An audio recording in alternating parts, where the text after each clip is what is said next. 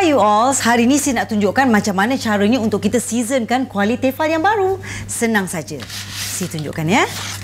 Okey. Kita cuci dulu dengan sedikit air sabun ya.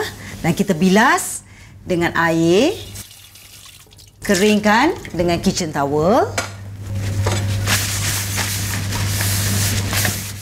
Ambil sedikit minyak ya dan sapukan ke permukaan kuali. Dah siap. Dah boleh guna kuali tefal.